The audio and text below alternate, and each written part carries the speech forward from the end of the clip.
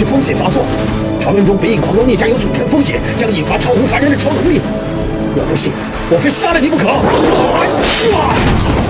这是聂风明月与独孤一方的终极一战。独孤一方作为无双城的城主，就连雄霸都要忌惮三分，武功自然是远超常人。聂风和明月两人联手，竟然也不是独孤一方的对手，被独孤一方一掌击败。独孤一方正要乘胜追击之际，无双阴阳剑感受到两人的浓浓爱意，散发出金色和银色光芒，吓得独孤一方连连后退。随后，无双阴阳剑猛地飞上半空，聂风和明月不由自主紧随其后。这便是传说中的剑法之神——绝世合击剑法倾城之恋。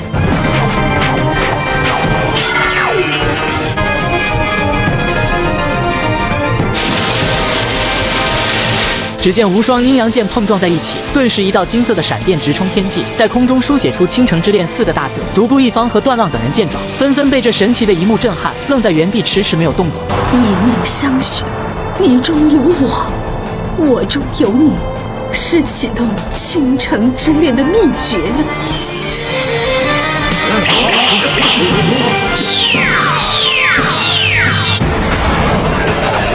倾城之恋爆发出无数的剑气，让无双城的弟子死伤惨重，就连独孤一方都难以抵挡。可明月的姥姥太过于忠，竟然主动飞向独孤一方，替独孤一方当起了挡箭牌，这就导致明月心神大乱，无法继续施展倾城之恋。无双阴阳剑也脱手而出，可独孤一方不仅没有心存感激，还一掌将姥姥打飞出去。明月接住重伤垂死的姥姥，希望姥姥能够原谅他。姥姥，原谅我，我死也原谅你。姥姥尸骨不化的姥姥竟然临死也不愿意原谅明月。明月见姥姥惨死，当即含怒出手攻向独孤一方，却被独孤一方一掌打飞出去，落向了竹林后的万丈悬崖。聂风想要挺身相救，却根本无能为力。明月担心自己死后聂风会为他殉情，因此嘱咐聂风，除非见到他的尸体，否则就要好好的活下去。聂风悲伤过度，双眼突然变成了血红色，整个人杀气腾腾，势不可挡。独孤一方化身最强解说员，说出北影狂刀聂家有祖传风血，一旦发作将会引发不可思议的超能力。眼见聂风提着无双阳剑步步逼近，不信邪的独孤一方不断挥出掌力，可处于霸体状态下的聂风对这种攻击已经完全免疫，不痛不痒，吓得独孤一方惊慌失措了起来。